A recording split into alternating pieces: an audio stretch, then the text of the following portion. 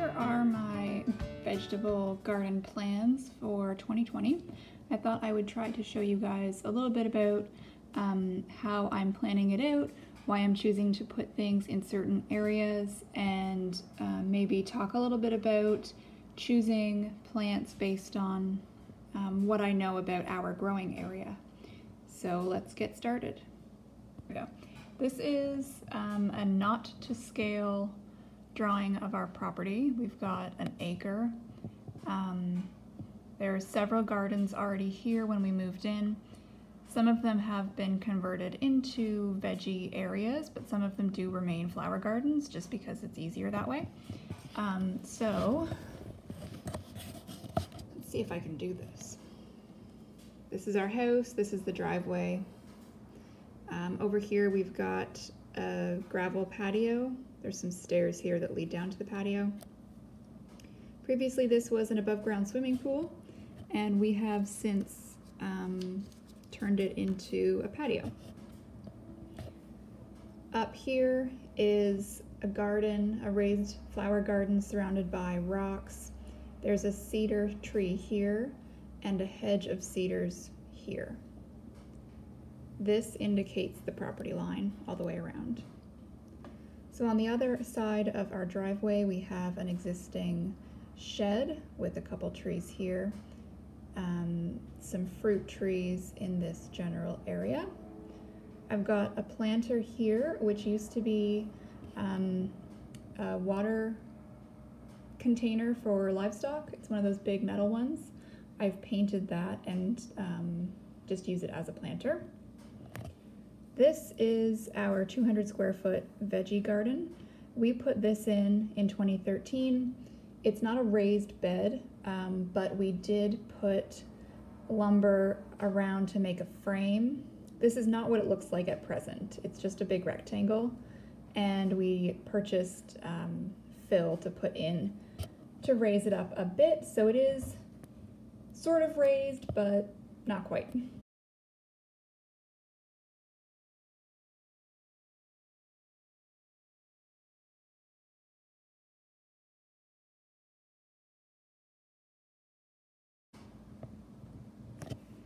Around the patio are some big L-shaped planters that my husband and his father built a few years ago. Previously I used them for just various flowers and then last year I decided to do more vegetables in them. They did really well there so I plan to do that again. Um, oh and I should mention there's a hedge of alternating ash trees and lilacs along that property line.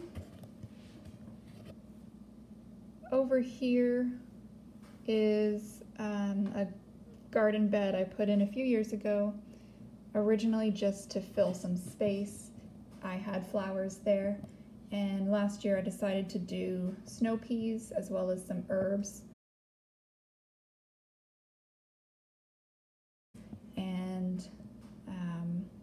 I did have some squash growing there, just along here, but they got damaged before they could mature, so they were not edible. This area is another garden um, that has our air conditioner next to it, and then I've got a vintage concrete sink here that I use as a planter. This is how you get into our house through the back door, so there's nothing there. I do have another garden here but it's just for irises, so I don't put anything, any vegetables there. This is our chicken coop and chicken run. I do have some hostas along, oops, along here, along the fence line, just to create some shade for the chickens. Um, I don't want to plant anything edible there for humans to eat because the chickens will just eat it up, they'll destroy it. I am going to plant some sunflowers though. I think that'll be nice. We did have raspberries growing here on the back side of our chicken coop, but they ended up taking over um, and I didn't like it there, so I moved them. I transplanted some last year up here and I'll continue to do so this year. So that's pretty much what our property looks like. Um, if you are curious, north is this way, South is this way. That way is east and then west. All right, let me try to explain a little bit about what is going where. So I did the raspberries up across the front because there's a lot of space between our cedar hedge here and the property boundary. And I thought raspberries would do well up there because it's uh, just a lot of space for them to grow and just kind of fill in. On this side by the front shed, I have um, some echinacea flowers here, also called cone flower. A friend of mine dug some up for me a few years ago and they only recently started blooming very well. You can use echinacea um, when it's dried. You can use the flower parts and the leaves to make tea. It's good for immune building. Uh, my husband would always drink echinacea tea from the store. And then this past year, I decided to really harvest a lot of the plant to make tea. And he said it has a really nice flavor. Plus, the flowers are just pretty, they're nice and pink. In this planter, last year I did um, scarlet runner beans, which are quite large. The bean pods themselves are large, and the bean inside is a nice hot pink color. Um, they need some type of trellis or ladder or something. So I had just used a piece of old um, fencing, but it wasn't strong enough and the plant kept toppling. So instead, I'm going to be doing, as you can see from my list, I'm going to be planting parsley, spinach, lettuce, and cabbage. I thought I had kale, but I did not have any seeds left, so I crossed that out. I think those plants will do well here because it's fairly protected from the wind. Um, we do get a lot of wind on our property, so I'm hoping that because it's sheltered by the shed, it should be okay. I know that some plants like these do all right in shade, so I'm hoping that this shaded area will be a good environment for them. In our veggie garden, um, as I said, it was previously one big rectangle but we've decided to break that up into, I think, four smaller beds. We haven't figured it out yet. This is just a rough sketch, but the plan is to do four smaller beds that um, will reuse the, the wood around the frame to make the smaller beds. And then we'll have sort of a cross-shaped path in the middle, which will have mulch on it to keep the weeds down. Our reasoning for wanting to do the smaller beds this year is because um, the garden, the veggie garden is my chore to do, to weed it and everything. And it takes a lot of effort because we have terrible weeds out where we live. It's um, the biggest one is called bindweed, and it's got a huge root system. It can stretch for so long, so many feet. Um, early tribes used to actually use bindweed roots as rope. So that gives you an idea of how strong this root system is. So needless to say, I do not enjoy weed. So we're hoping that by having four smaller beds, that will reduce the amount of weeds we get and um, the overall amount of time I have to spend weeding. So we're planning to do heirloom tomatoes in one of the planters, or in one of the, the plots. Um, I think I'll do another one just of mixed herbs because we want a lot of bees to be pollinating in the area and um, the herbs should flower sooner than the rest of the plants. So hopefully that will encourage um, pollinating all around that area. Just in case anyone's curious, we do not have honeybees um, of our own. We just have the, the wild bees. We would like to have some beehives, but I have a severe allergy to stings, so that's not really a risk we want to take at this point. Um, maybe in the future, if we are able to buy more property, we would maybe set up some hives far away from the house and the general areas that I am, and then David can just be in charge of dealing with the bees. But for now, no bees for us except what are already here. Moving along, I'm planning on doing carrots and parsnips in another bed. I might do some potatoes too. Um, I'm undecided if I'll do potatoes in planters on the deck or if I'll just put them straight in the ground. I'd like to do another plot with beets. I'm not really a fan of beets, but uh, David likes them and we've got family members that love pickled beets, so I always make some to give away. And I'm curious to maybe learn some new recipes for beets. Maybe I'll enjoy them if I eat them differently. All right, so around this patio, as I said, this is a gravel patio. We're planning to put stone here, but that's not relevant to the vegetables that will be planted. There's a set of stairs here, and uh, we've got a deck. This is not to scale, obviously. Um, we've got a deck that's at the back of the house, so this should really be over here in relation to the property. But that doesn't matter for this drawing, I mean. Um, so we've got a deck. We usually do tomatoes across the stairs here and on the deck but I'm finding that they're not, they didn't do very well last year. They did a lot better when I planted some random tomatoes in the planters. So I decided not to do any on the deck this year, um, see if that makes any difference. They always do well when we plant them in the garden, so hopefully they'll continue to do well there with the new garden set up.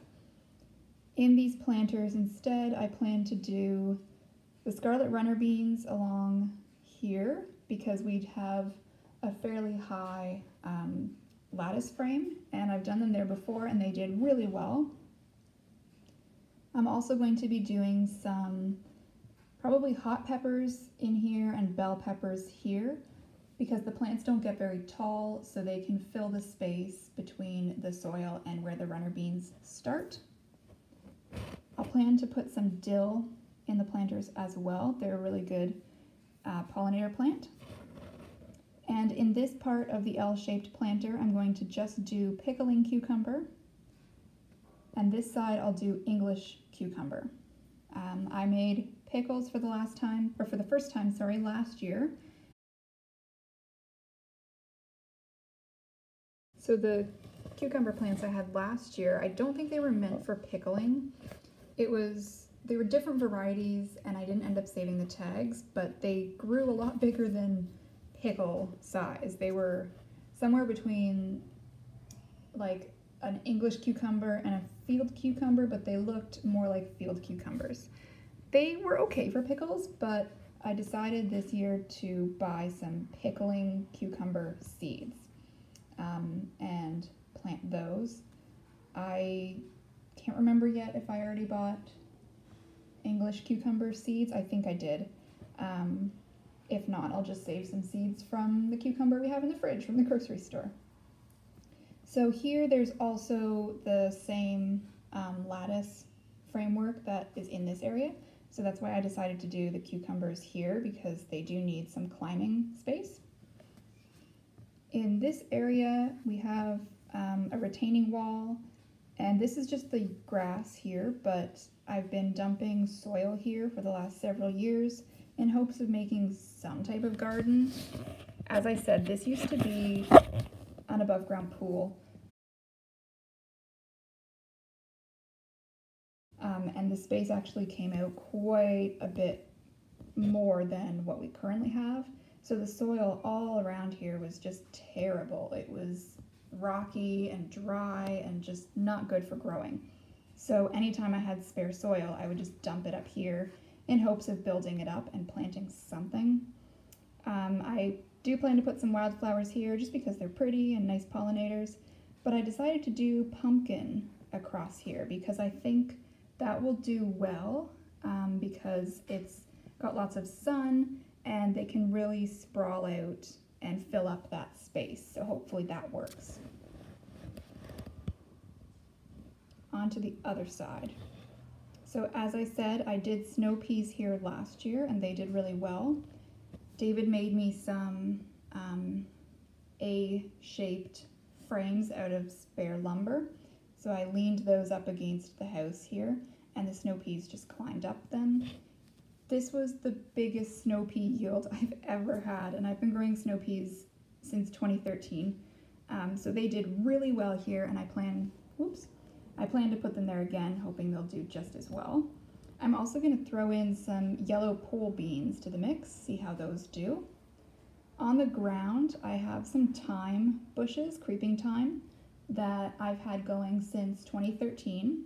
They used to be in a planter over here, but I took that planter out because it was crumbling since it was a concrete sink from many, many decades ago. Um, but the thyme's been doing very well here. It's a really good plant for pollinators because it has pretty little purpley flowers. Across the ground, I'm also going to be doing some acorn squash. So my creeping thyme plants, they will spread out um, across the ground, hence creeping thyme. But I've got them in uh, kind of like a cage, like a tomato cage, but not as angular, I guess. I've got them in there in the cages so they're not touching the soil completely. So I think the acorn squash will be able to grow along the ground here since they're um, a stretching plant. I can't think of the word. A sprawling plant, that's the word. So I'll do acorn squash there. In this corner, I'm just gonna do sunflowers because I think they're pretty. I have a calendula plant that I'm going to be putting there again. Calendula can be uh, used for different things, but so far all I've used it for is drying the leaves to make tea. Uh, but David likes to drink it. He likes to mix the calendula and the echinacea leaves um, together to make a nice, unique tea. I think that's everything.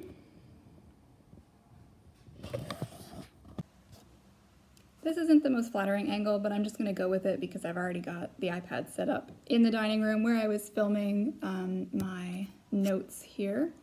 So I don't call myself an expert with gardening. Um, a lot of people seem to think that I know exactly what I'm talking about, but I don't. Um, a lot of it has just been trial and error, a lot of mistakes, a lot of failures, um, some successes, but I do have a few tips that I can share if you are wanting to start um, a vegetable garden. So first I would say know the soil that you have.